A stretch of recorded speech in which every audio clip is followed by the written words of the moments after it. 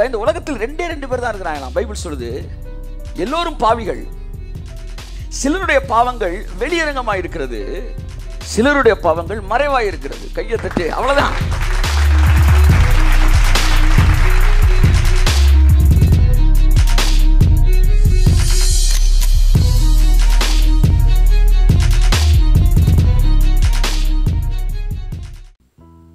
பரிசேர்கள் உபதேசம் எப்பவுமே வெளியே நடக்கிறத பத்தியும் இருக்கு. ஆனா இயேசுவின் உபதேசம் எப்பவுமே உள்ள நடக்கிற பத்தியும் இருக்கு. பரிசேயர்கள் பாத்திரத்தின் வெளிப்புறத்தை சுத்தப்படுத்தினார்கள். இயேசுவ பாத்திரத்தின் உட்புறத்தை சுத்தப்படுத்தினார். வாசிப்போம் அந்த வசனத்தை. அங்கிருந்து நான் வருகிறேன். மத்தேயு இருபத்தி மூன்று இருபத்தி ஐந்து இருபத்தி ஆறு வாசிப்போம். உள்ளான ஐஸ்வர்யம் என்கிற தலைப்பிலே நாம் பேசிக் கொண்டிருக்கிறோம் ஆ. மாயக்காரராகிய வேத பாரகரே மாயக்காரராகிய வேதபாரரே பரிசெயரே பரிசெயரே உங்களுக்கு ஐயோ. தயவு செய்து என்னை பாருங்கள். பரிசேர்கள் என்றால் பிரித்தெடுக்கப்பட்டவர்கள் என்ற அர்த்தம். பரிசேர்கள் என்றால் பரிசுத்தவான்கள் என்ற அர்த்தம். அவர்களை பார்த்து தேவன் சொல்கிறார் மாயக்காரரே. வெளியில இருக்கிற விஷயத்துக்கு ரொம்ப முக்கியத்துவம் கொடுக்குறானோ. அவனுக்கு பேர் என்னது? மாயக்காரர். வெளியே ஒண்ணு உள்ள ஒண்ணு இருந்தாலே அது மாயக்காரர். இப்ப நான் கேட்கிற ஒரு பாவி ஒருத்தர் வராரு. சார் நான் பாவி சார்ன்றான். இங்கிட்டு ஒருத்தர் வராரு. அவர் உள்ள பாவியா இருக்கிறாரு. வெளியே நான் பரிசுத்தவானா இருக்க வந்து செயல்களை மாத்தி ட்ரெஸ் எல்லாம் மாத்துறாரு. ரெண்டு பேர்ல யார் மாயக்காரு? சொல்லுங்க. ஒருத்தர் பாவி. அவர் பாவியாவே வந்து நிற்கிறாரு நான் பாவி சார். ஜீன்ஸ் பேண்ட் போட்டு ஒரு லூஸ் ஃபிட்டு டிஷர்ட் போட்டு நிற்கிறாரு இன்னொருத்தர் சொல்கிறாரு அவர் வந்து ஒரு வெள்ளை வந்து நிற்கிறாரு ஆனால் அவர் பாவி தான் ஆனால் வெளியில் வந்து நான் பரிசுத்தமான முயற்சி எடுத்து கொண்டு இருக்கேன் வெளியில் எல்லாத்தையும் மாற்றிக்கிட்டு இருக்கேன்றார். கர்த்தர் யாரை பா- பாருங்க அவனை பார்த்தா அவன் பா உள்ளேயும் பாவி வெளியும் பாவி. அவனை ஒன்றுமே சொல்லலை. உள்ளே பாவி வெளியே பரிசுத்தவான். அவனை பார்த்தா மாயக்காரரேன்றார்.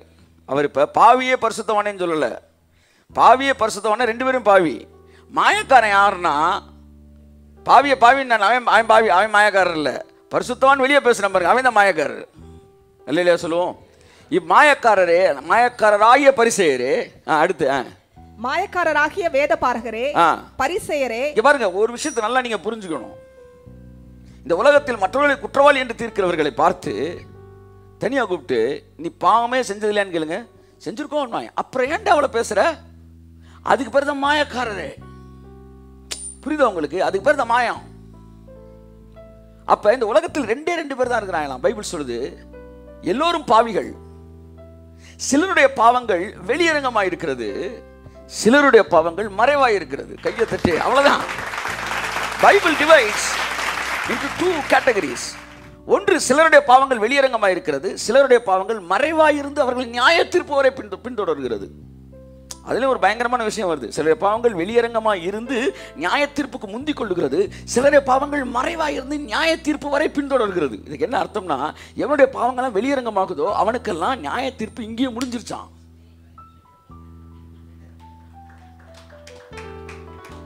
எவனுடைய பாவங்கள் மறைவாக இருக்கிறதோ அது நியாய தீர்ப்பு வரை பின்தொடர்கிறதா இல்லையா சொல்லுங்க? ஆமாம் தப்பு பண்ணவங்களுக்கே ஒரு நல்ல த ஒரு ஒரு மகிழ்ச்சியான செய்தி. தப்பு பண்ண எல்லாருக்கும் இல்லை. ஆமாம் நீங்கள் வீட்டில் எடுத்த அஞ்சு ரூபா பிடிபட்டுட்டீங்கன்னு வச்சுக்கோங்க உங்கள் அப்பாட்ட. நீங்கள் வந்து சந்தோஷமான செய்தி உங்களுக்கு நியாய தீர்ப்பு கிடையாது. ஏன்னா நியாய தீர்ப்புக்கு முந்திட்டீங்க. இங்கேயே நியாய தீர்ப்பு வந்துருச்சு. ஆனால் மாட்டாமல் இருக்கிறான் பாருங்க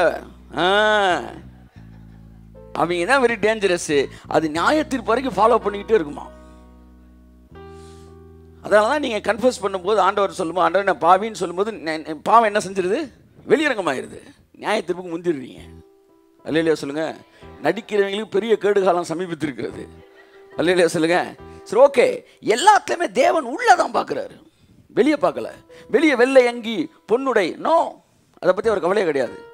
வெளியில் மீசை வச்சிருக்கிறாரு எடுத்திருக்கிறாரு. நோ அதை பற்றி கவலை இல்லை. மீசை இறக்கியிருக்காரு மீசை ஏற்றிருக்கிறாரு அதை பற்றி கவலை இல்லை. ஏன்னா தேவனுடைய பார்வை உள்ளே வெளியே அல்ல.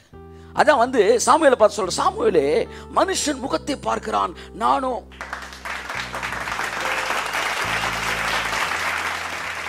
அப்ப தேவன் எப்பவுமே அவரோட வேலை எங்க தெரியுமா? கிளையில இல்ல வேர்ல. ஐஸ்வர்யத்திலும் அப்படிதான் அதான் சொல்ல வரேன். நீ பணக்காரனா வெளியே ஆகிறதுக்கு முன்னாடி முதல் உள்ள பணக்காரன் ஆகணும்